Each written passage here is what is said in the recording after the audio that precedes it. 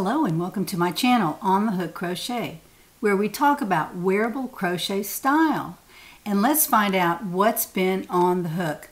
A lot has been on the hook for this late week video and I want to tone things down as I've been trying to do every Thursday and bring you a video about something a little more thoughtful, not so crazy in um, the speed that I do it. So I just wanted to uh, bring you a couple of thoughtful things uh, that you can use maybe even in your own crochet experience. The ability to design your own garments. Now, my patterns are designed so you can design your own garments and I do write them with many options and with ideas that you can use in order to design your own garment that fits you, that looks the way you want it to, that's made with the yarn that you like, and the, also the hook that you enjoy using. That's how I design my garments so that you can design your own and I welcome that. I think that's a wonderful thing and I love to see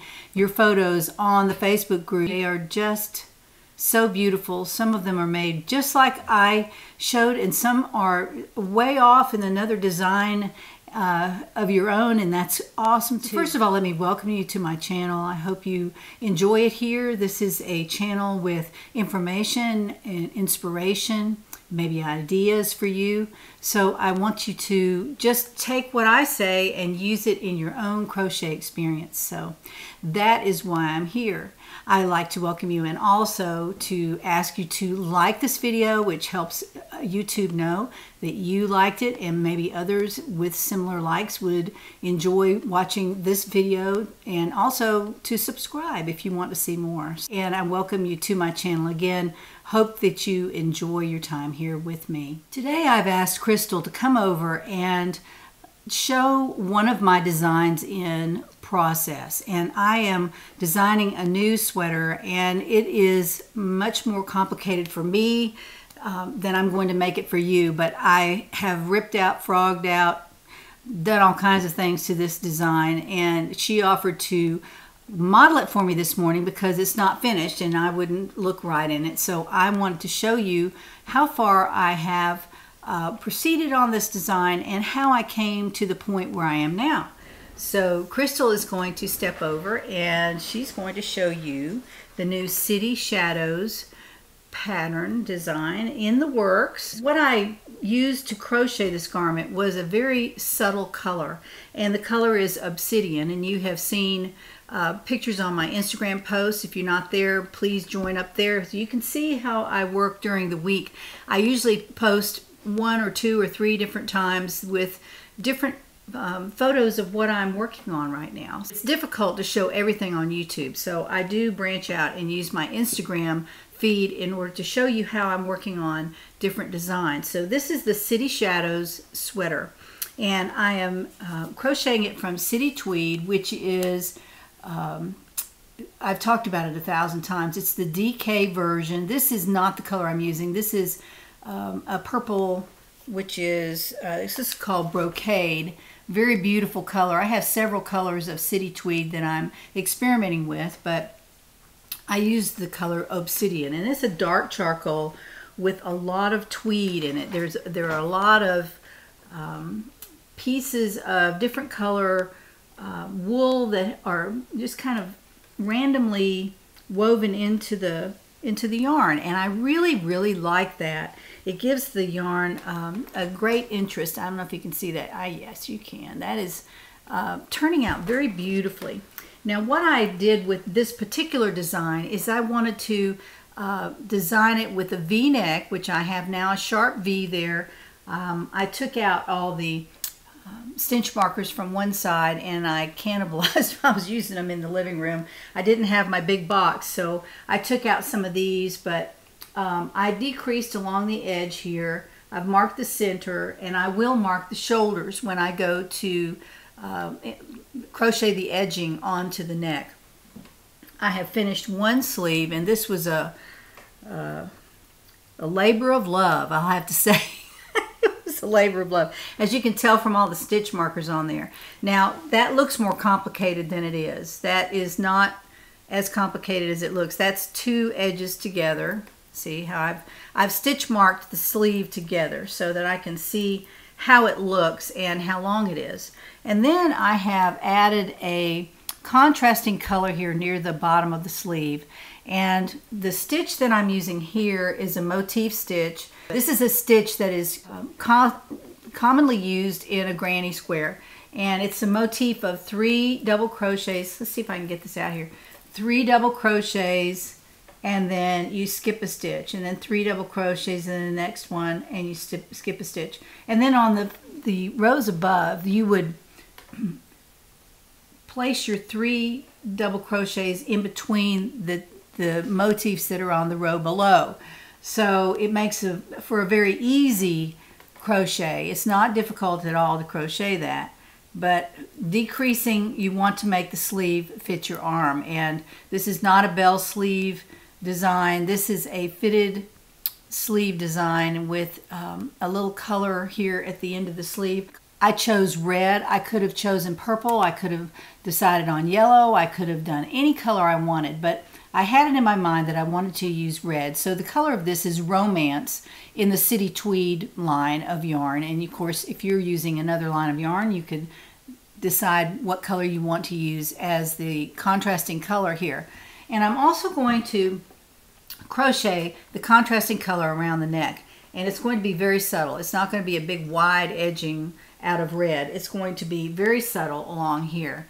I may also uh, add the red around the bottom. I might, I haven't really decided. Uh, more than likely I will, but as a design element, it's, I think, better to keep your design elements either at the top or at the bottom and not have too many, maybe two, design elements that are very striking. So I'm thinking that when I get the neckline edged in the red that it will mat you know it will pull this design up to the eye so you can see it. And if I put another one at the bottom it might detract from that. Well I'll have to see. I may uh, crochet it along the front and try it on and see if I like it. And if I don't I'll just frog it out. And that's what I do with my designs.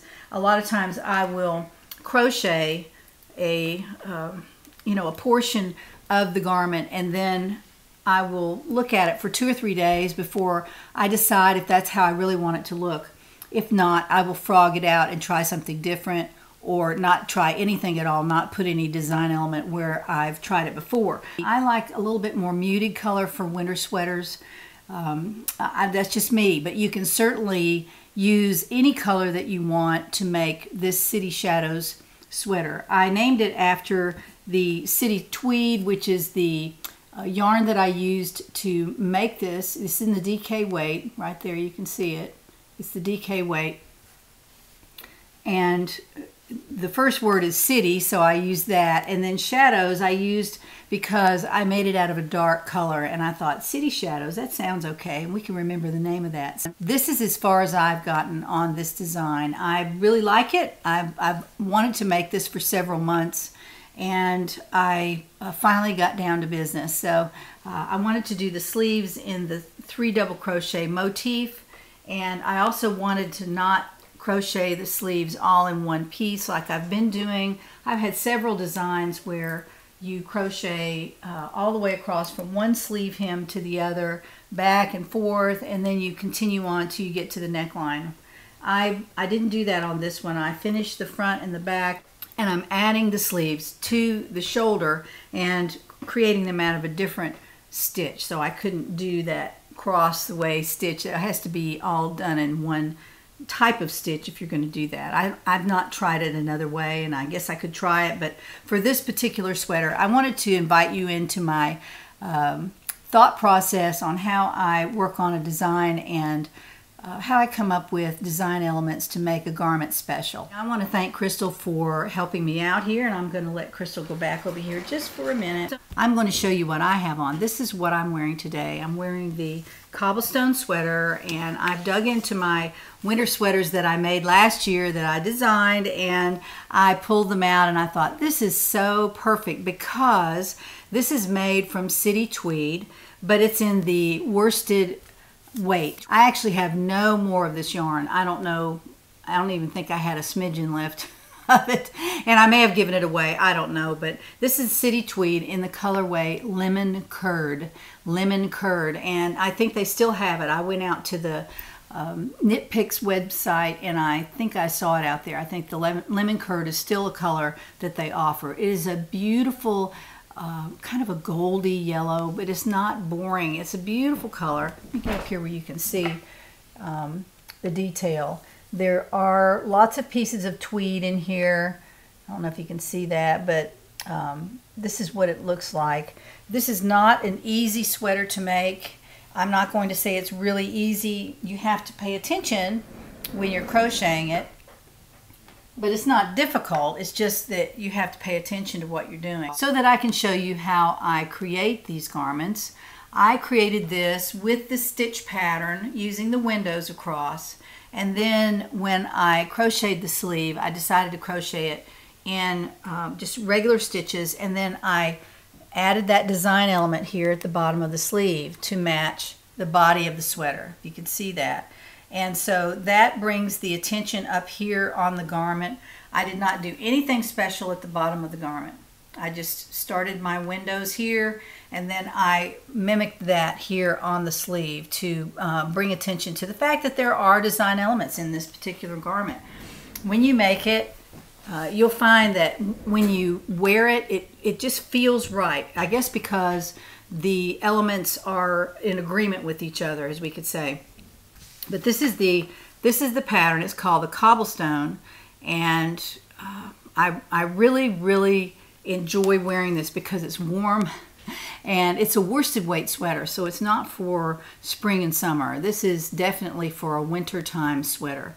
So that is how I made this how I came to this design. So let's move on to talk about another design that I'm working on. Okay, for the thousandth time, I'm going to talk about this pattern. This is the Marie Wallin pattern for the scarf that she's designed. And you can see the scarf. Somebody asked me that. This is not a sweater. This is a scarf that comes down like this. And it looks like one piece, but it's not. It's the two sides of the scarf. She has them laid down there so you can see the squares in there and the motifs. And I'll get that up there where you can see it. This is also a sweater that's in the book that I bought. I really like that stripe. I really like that. I wouldn't mind trying to make that. Um, her patterns are very abbreviated, so so um, I have to think really hard when I'm working on them. but anyway, I wanted to make this particular scarf. Now I've made I've decided to make a change. I crocheted one of the squares, and y'all have seen this already. This is one of the squares, and I crocheted in a much larger hook, and so it is now, you know, an inch and a half or two inches bigger than hers um, turned out here because she used a tiny little hook and I'm, I'm using basically the same yarn though. This is a very good substitute for the Rowan felted tweed, which is what she used. I'm using the uh, city tweed for this as well. So um, the colors are gorgeous. I matched her colors and so I'm using, uh, in this particular design, I used the colors that she showed in her picture. The beige, the blue, and the dark green and then um, edged it with the beige as she did in her, in her instructions. Then I started another one and when I did, I realized that I really um, this took a long time to make. There are a lot of clusters in here and it's a a little bit involved. It's not terrible or anything. I just really didn't um, enjoy the process. I probably would if this was the only garment I was going to make this winter. I could do that. It wouldn't be a problem at all. But I'm not, I'm into speed and I want to make sure that I can bring you lots and lots of ideas. And so what I wanted to do was make a square that I could do quickly and use the different colors. It's okay because you have to tie in all your ends and that's okay. I was just going to do those as I went along. I didn't want to wait till the end and then go, oh, I just don't want to tie in all those ends. And then you stop working on your project. So it's good to tie in your ends as you go or crochet them onto the next row so that you're not at the end of your project so uh, despondent about having to tie in all your ends. That's a little tip from me, but it's good to tie in your ends as you go along. So I made another square. This is one I came up with. using um, her design element of the large hole in the middle of the square, and those are becoming more uh, popular as we move along. If you'll notice on some of the patterns I've seen um, have this large hole in the middle, even on Afghans, and I thought that was interesting. Rather than pulling it real tight and trying not to act like there's a hole there, there is a hole there, and you can start with um, more chains, and you then put a lot of um, stitches in here. I'll have to see how many I put, I can't remember. And then I did something a little bit more open on the next row. Then I did the typical uh, three double crochets on the next row with a single crochet in the middle. And then I did all the way around just a, a row of double crochet and then uh, a special in the corner, you know how you do two, two, and two, two double crochets, two chain, two double crochet. I did that on this particular square. What I like about her pattern are the colors. They are so gorgeous. They are not oranges and reds and greens. They're very subtle colors. As I said last week, I ordered a lot of these colors because I thought I might make this pattern as it as it was written, but I've decided to change the square to change the number of rounds so I'm not spending all day on one motif and I'm going to make a cowl. I'm not going to make a long scarf. I'm going to make a cowl. I'm going to design it myself. And so this is basically my design using her colors and the design element of the large hole in the middle of the square. But other than that, it's basically not her square. but it is her idea to connect the motifs together and make a scarf. Now I'm going to make a cowl so that'll make it a little bit different. And I may publish the pattern. I don't know. I don't know why not. But I was inspired by her, and I would probably write that right in the pattern that I was inspired by her scarf and I made my own scarf and here's the pattern for it. So if y'all are interested in that, let me know down in the comments box. I'll be glad to uh, be writing this as I go along. Otherwise, I'll just kind of make it and I'll just have it. But I wanted to show you this this is how I think as well. When I design a pattern, I try not to design something so difficult that you would have trouble, first of all, reading the instructions. I have conversational instructions in my patterns. I write as if I would like somebody to tell me how to do the certain thing that I'm trying to tell you how to do in the pattern. So um, I also tell you two or three different ways if I can, I will put tips in my pattern that give you tips on how to make your garment look better, um, how to select the optional ideas in there. Uh, you may want to, you may not want to, but again, that's how I like patterns to be written. I had a comment last video that someone said they didn't like patterns that described everything and that's fine but my patterns do so you probably won't want to buy my patterns. Everyone is written in conversational form so there are 50 patterns out there written like that and if you don't like that then you probably won't want to purchase my patterns but I write them for the general public and for the general crocheter who doesn't have time to try to figure out if something's the right way, or if their hook is supposed to go here or there, or if they're supposed to add a stitch here or there, or which stitch it adds, which row to add it on. All that is very clear. And I also give you fill in the blanks on the pattern so that when you finish your row, you can check it off and then you can go do whatever you need to. When you come back, you'll know where you are in the pattern. So that's another thing that I do that I actually write on other patterns. When I crochet an abbreviated pattern by someone else, I make a lot of notes, do a lot of check off rows. When you have two asterisks and you say do this three times, I will write down all those sections of what I'm supposed to be doing and then I will check them off as I go because I'm interrupted a lot.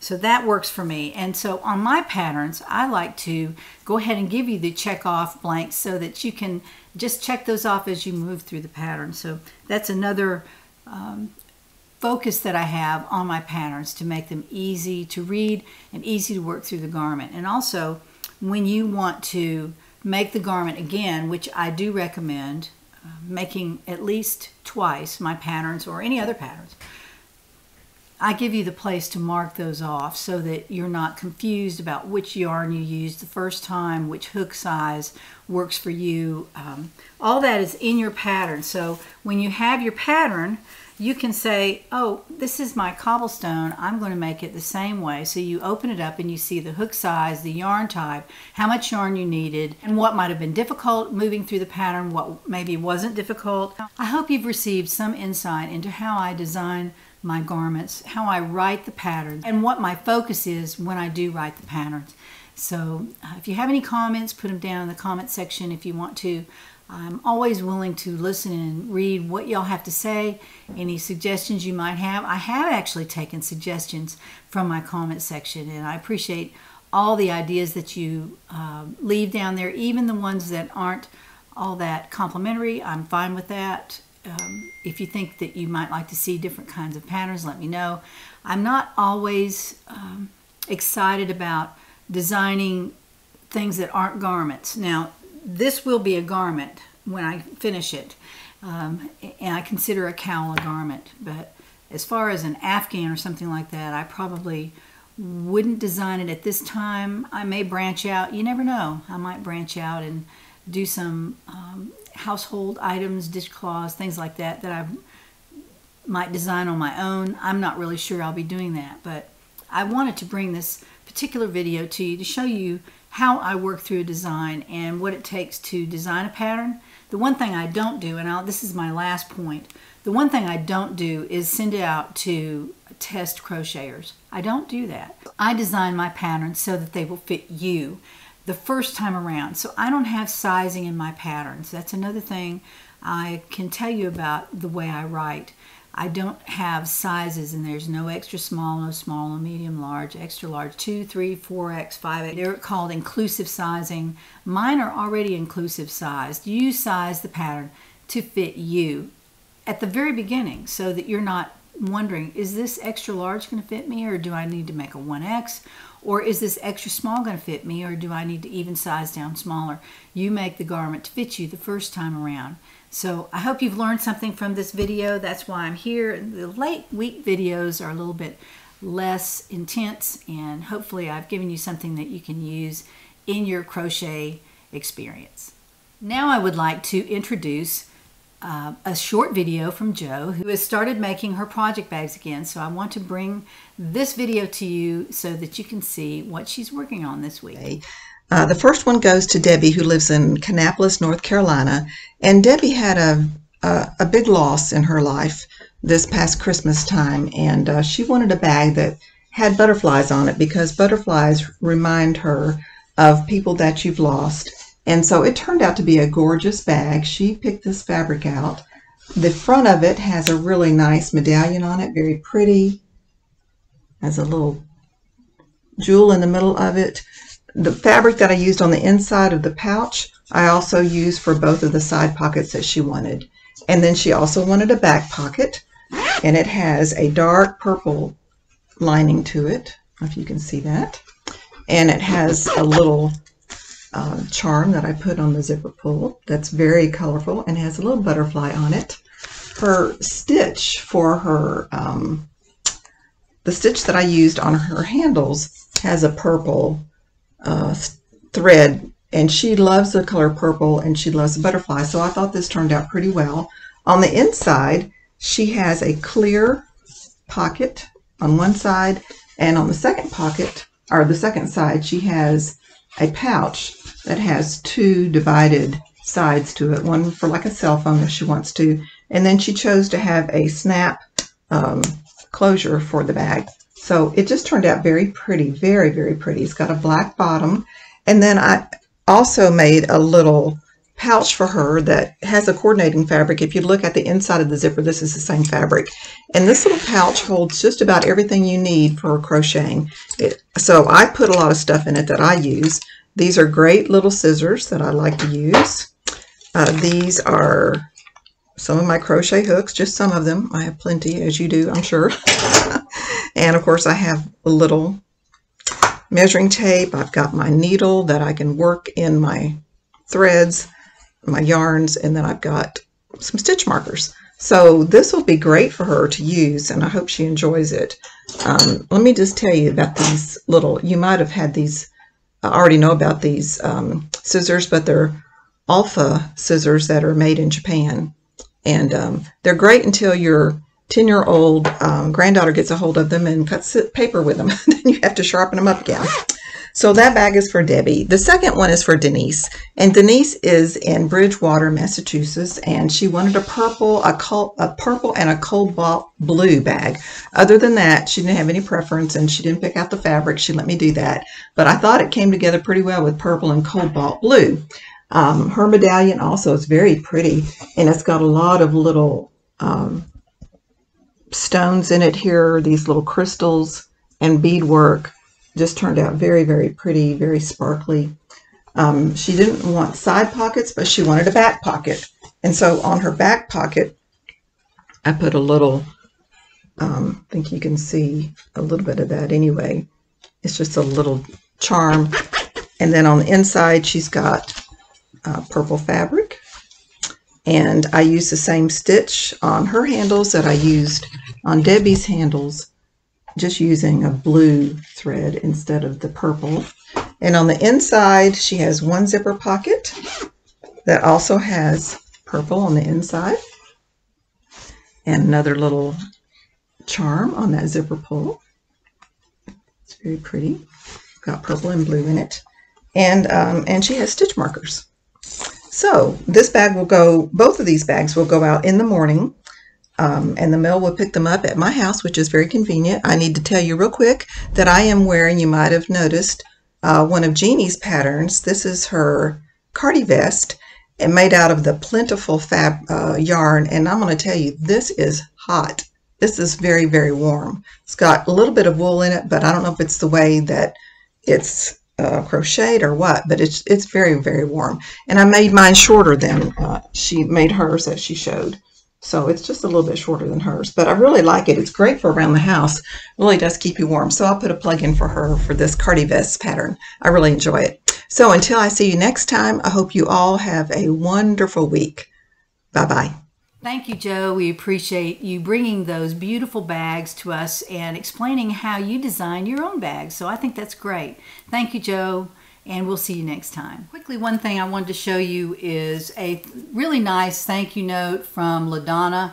She and I um, have something in common and I, I, sent her something and she sent me a nice card. So LaDonna, I wanted to give you a shout out about that. Thank you for that beautiful thank you card. I appreciate now it. Now for the giveaway portion of my program. The first gift I'm giving away this week to those who uh, left a comment on last week's late week video and used the word past, P A S T, and we'll get to that in a second. But the first gift is three balls of ZZ Twist by Lion Brand in the colorway grape. This is beautiful. It's very rich color. Let me get it back here where you can see it. It's very deep and very beautiful. The second gift we'll be giving away is this beautiful ash wooden crochet hook and it is in the flat design. Look at that. It's a flat crochet hook. I didn't find it to be terribly difficult. It's not made for speed for me. I, I really prefer my clovers.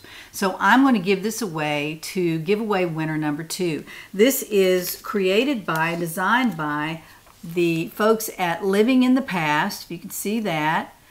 These are people who make other things too. They also make historical soaps and other historical items. I saw this particular hook on another YouTuber's video and I thought I would give it a try. So I bought one and the value is $12.87. The, the, the hook was $8 and then there was uh, shipping and tax. So uh, that is the, the value of this particular hook.